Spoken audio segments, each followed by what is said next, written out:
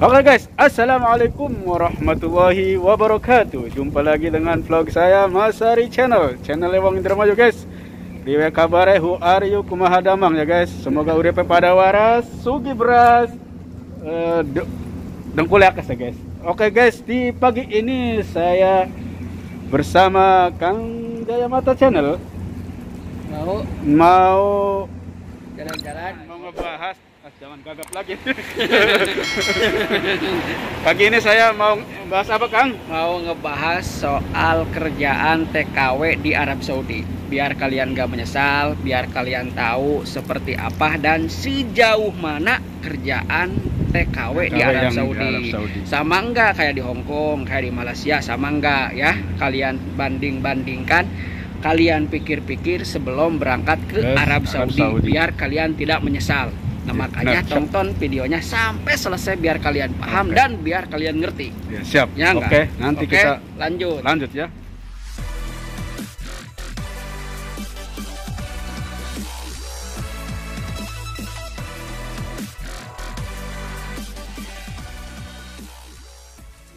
kalian ya. Masa Allah bunganya bagus ya. Merah ih. Oh. Ini disiram ya? Jadi siram nih tiap hari nih. Biar kalian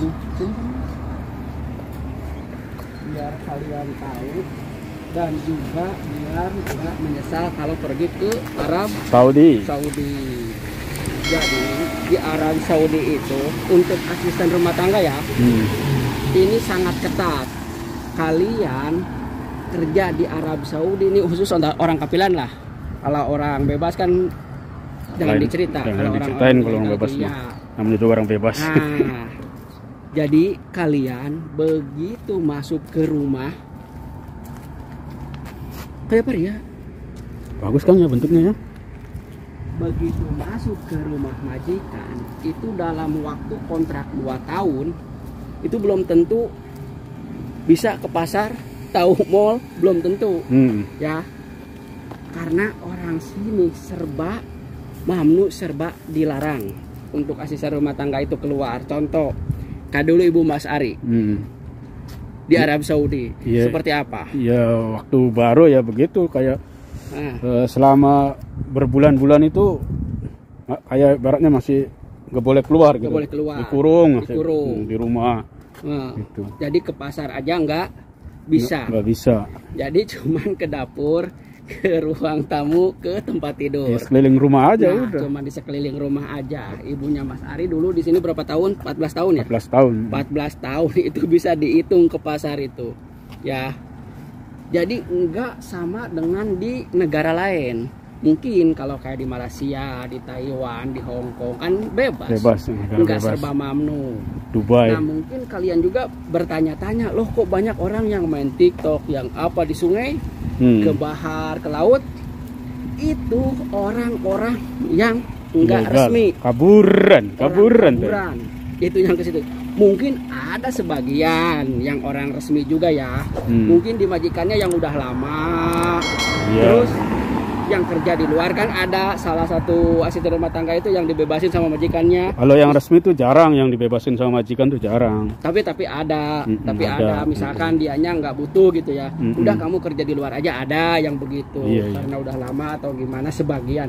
Cuman kebanyakan itu dikurung ibarat burung. Mm -mm. Burung di dalam nah, sangkar, Pak. Nih, nih rumah nih seperti ini misalkan. Begitu kalian masuk ke rumah majikan, itu udah nggak tahu apa-apa.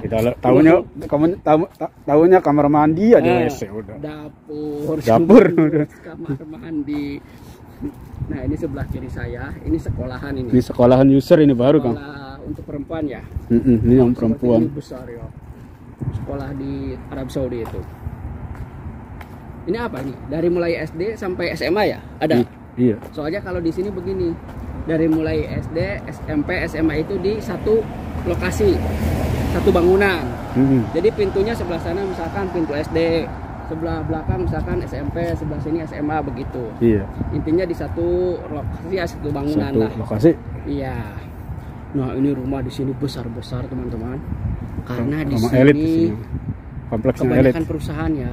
Mm-mm. Ini masih A14 apa A1 berapa ini masuk? Lima? Satu empat kan masih. Masih. A14 Masya Itu batasnya itu tuh. Oh batasnya di depan sana. Mm-mm. Nah jadi teman asisten rumah tangga khususnya. Jadi ke Arab Saudi itu begitu.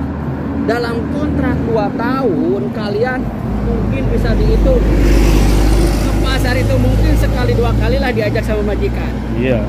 Kadang majikan pergi aja nggak diajak dikunci, diam di rumah. Minum di rumah dan nggak Iya, dibawa, nggak nggak diajak. dibawa, nggak diajak. Dikunci di luar takut takutnya lo, Takut ka- kabur. loncat kabur. takut kabur.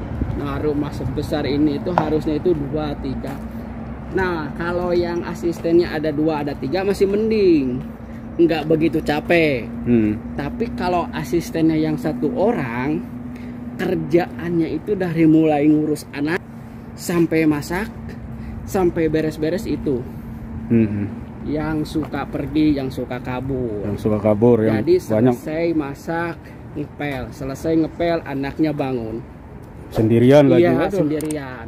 Tapi kalau yang banyak ada dua, ada tiga misalkan untuk anak untuk urus anak gitu ya, babysitter ada, yang Hmm. beres-beres ada, terus yang masak ada. yang Nah, bebersih, itu baru. yang bebersih lain lagi gitu. Iya beres-beres itu bersih-bersih Oh iya, sama. Nah itu baru enak. enak. dan juga sama-sama Indonesia ah, apa nah kalau udah nyampur misalkan ada orang Afrika Afrika, Filipin, itu nyampur-nyampur yang begitu yang o- orang hitam. Oh, bikin banyak kan sama orang hitam itu berantem, Kang. iya karena dia pada cari muka sih. Cari muka. di depan majikan itu iya Hmm.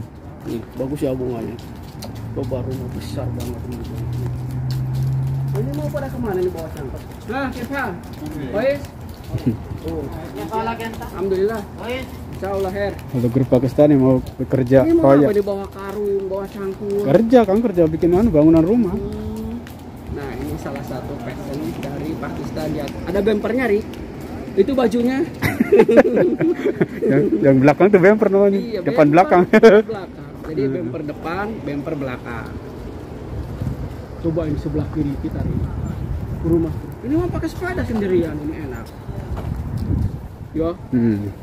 besar seperti ini, masya Allah. Ini rumah siapa nih ya sampai kayak kayak sekolah ini Mari. Iya, tapi, Besar, tapi villa ini. Tapi villa. Nah, dibilangnya itu rumah seperti ini tuh villa di Arab Saudi itu. Nah, jadi kemarin ada yang komen. Katanya kayaknya nggak nggak apa kok sepi gitu nggak pada main di tetangga sama tetangga. Di sini itu nggak boleh nggak bisa. Nggak ada. nggak ada. Acara namu ke tetangga satu sama lain itu nggak ada.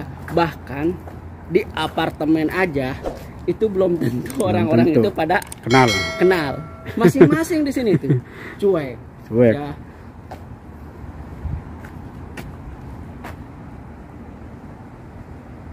Uh, besar banget rumah ini. Nih lihat tadi kan waktu saya opening GoPro ya, tahu-tahu GoPro-nya itu nggak dicas, akhirnya pakai HP juga. Pas begitu mau dipakai, loh kan nggak ada baterainya kata jadul. Aduh, harus cari di mana Iya. casanya ini nanti. Ini kacau, coba ini rumah masya Allah, teman-teman lihat.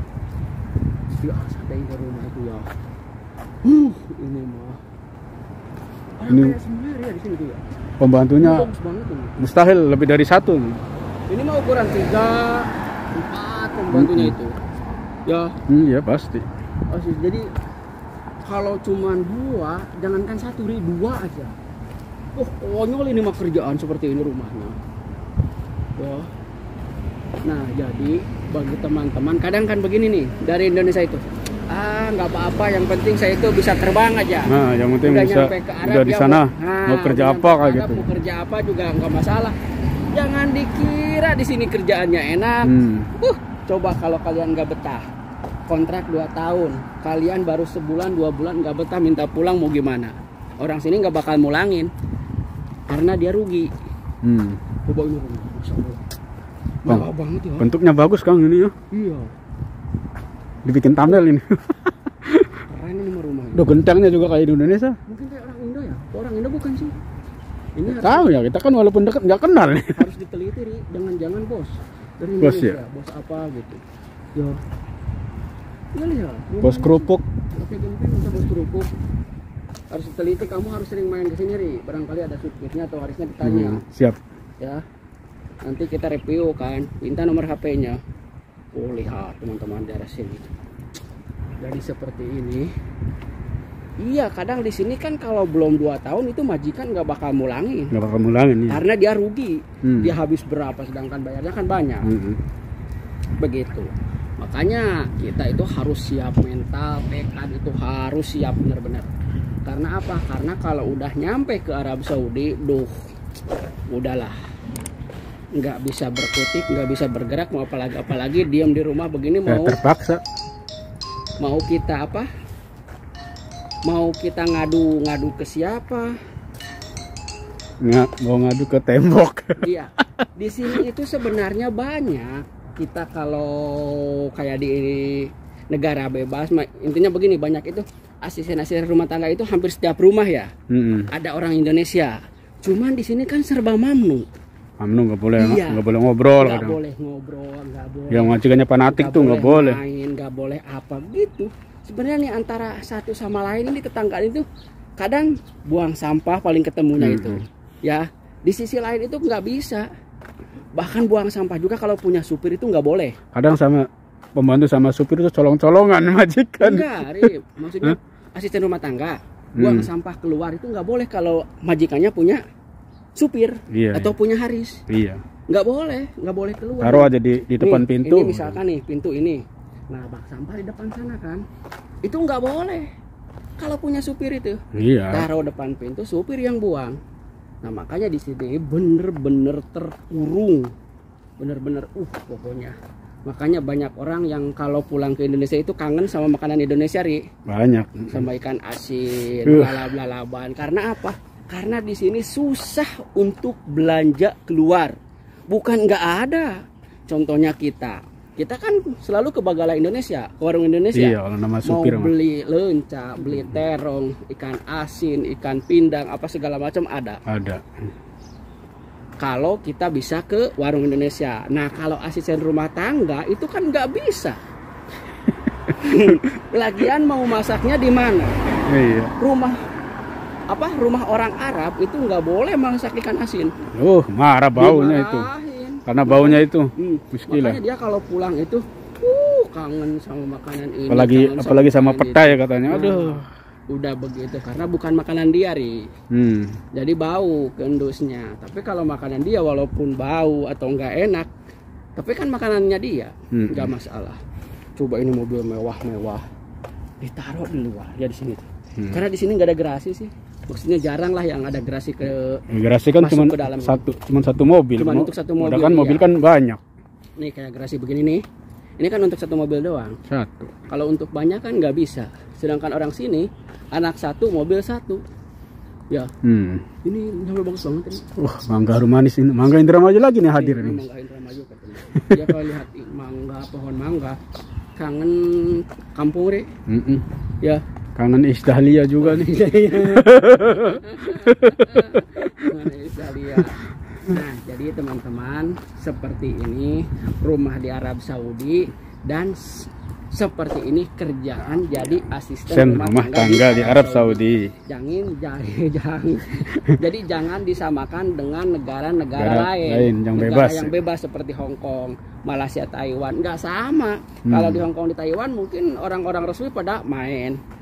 Setiap Apa? kalau di Hong Kong, Setiap- Taiwan kan setiap minggu, setiap minggu setiap hari libur. minggu libur. Nah, Udah jalan-jalan bersama. Nggak Hmm. ada acara libur namanya orang kapilan itu. Iya, udah. Nggak ada. Kurung aja di rumah. Dikurung di rumah. Jadi cuman ke dapur, ke hamam, kamar. Ya cuman hiburannya itu sekarang ya cuman HP. Nah, Iya. kalau sekarang zaman HP itu cuman main HP aja. Hmm, nonton film Video YouTube gitu. Telepon, keluarga. YouTube Jaya Mata Channel itu. Iya. Asisten itu suka nonton YouTube aja Jaya Mata Channel. Hmm. Kadang-kadang diludahin YouTube saya itu. Gak menarik. Coba ini rumah, masya Allah, teman-teman. Ini kayaknya rumah Amir, Kang. Ini teman-teman ketahuan kalau supirnya orang Indonesia. Oh. Nih ada pohon pepaya. Ini kayaknya orang Jawa. Barat, Ri. Mm-mm. Tuh, Suka ya. dilalap pepaya itu, daunnya yang muda. Nih, ini ada kemangi. Masya Allah, lihat. Gede banget Nih, sering lebar. diambil. Iya ini. Kemangi sering digunting. Kalau digunting. Ada nih orangnya. Mana sih kamarnya di dalam kayaknya ya? Dalam Kang, kamarnya di dalam. Oh, di dalam kamarnya ya nggak di luar. Tuh, kemangi lah gitu. Nih, ini kemangi banyak. Kalau nggak salah dia itu di- di- dijual ke Bagalan. Oh, ini? Iya. Oh, kok kamu tahu? Nggak minta nomor. Nanti minta nomor teleponnya, Ri. Kita review dalam rumahnya. Rumahnya bos apa gitu ya? Mhm. Barangkali bos martabak rumahnya. Iya siap. Majikannya tuh lihat kemanginya. Kemangi guys. Pohon Oh. pepaya.